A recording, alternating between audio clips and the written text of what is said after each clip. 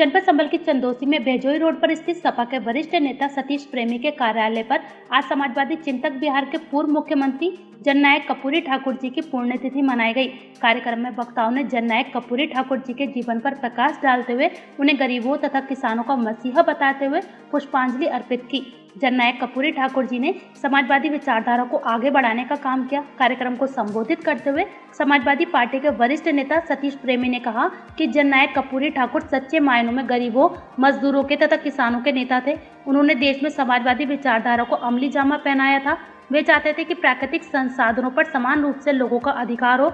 कोई भी व्यक्ति भूख से न मरे, उनके बच्चों की पढ़ाई लिखाई अच्छे से हो कानून तथा संविधान के तहत उसे समान अधिकार हो समाजवादी पार्टी पिछड़ा वर्ग के जिला अध्यक्ष ओम प्रकाश प्रजापति ने कहा कि सर्वप्रथम बिहार पिछड़ों की अगुवाई करने का काम जननायक कपूरी ठाकुर जी ने किया उस तबके के हिमायती थे जो आर्थिक रूप से, सामाजिक रूप से कहीं न कहीं किसी कारण पिछड़ गया। अध्यक्षता कर रहे सोनलाल गुरुजी ने कहा कि जननायक कपूरी ठाकुर गरीबों के पिछड़ों तथा मजदूरों के हिमायती थे। वे हमेशा समाजवादी विचारधारा के अग्रदूत रहे।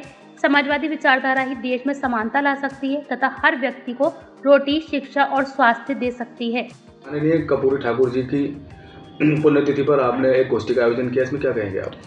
आज जननायक बिहार के पूर्व मुख्यमंत्री, समाजवादी चिंतक जननायक कपूरी ठाकुर जी की पुण्यतिथि थी।